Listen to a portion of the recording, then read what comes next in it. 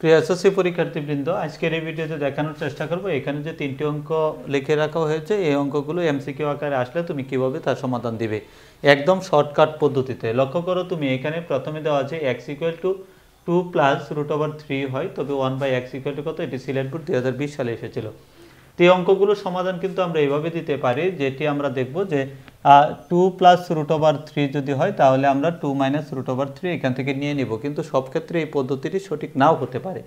যদি এই পদ্ধতিটি আমরা সঠিক কিনা সেটি যাচাই করি, তাহলে দেখব যে এখানে এক্স ইকুয়াল টু যা দেওয়া রয়েছে, প্রথম পদের বর্গ করব, তো বর্গ করলাম আমরা টু এর বর্গ হলো ফোর আর এটির বর্গ করলাম আমরা, এটি হলো থ্রি তো লক্ষ্য করো যে এই দুইটির বিয়োগফল যদি ওয়ান হয়, অর্থাৎ এটি যদি আমরা বিয়োগ করি, তার বিয়োগফল ওয়ান হয়।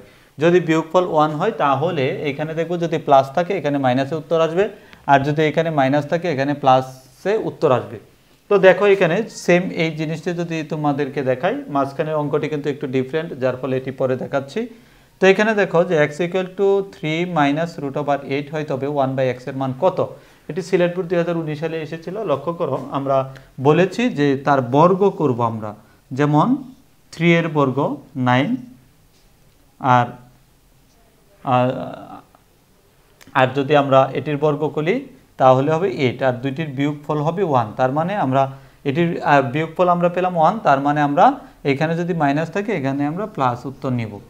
কিন্তু এখানে লক্ষ্য করো যে আমরা যদি বর্গ করি থ্রি এর বর্গ থ্রি আর ফাইভের বর্গ ফাইভ তার মানে এটির বিয়োগফল কিন্তু মাইনাস টু অথবা যদি ফাইভকে আমরা সামনেও ধরি, তাহলেও কিন্তু হবে কি টু হবে। তার মানে এটি টু হবে যদি আমরা ফাইভ আগে দিই বা পরে দিই। বা আগে দিলে প্লাস টু আসবে, পরে দিলে মাইনাস টু আসবে।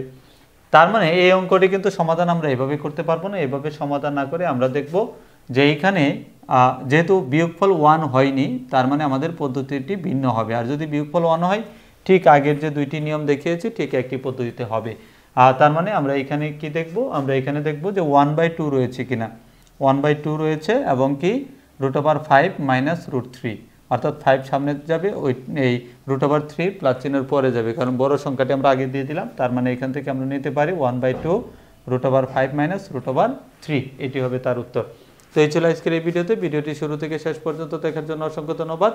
সকলের সুস্বাস্থ্য কামনা করে এখানেই বিদায় নিচ্ছি। খুদা হাফেজ।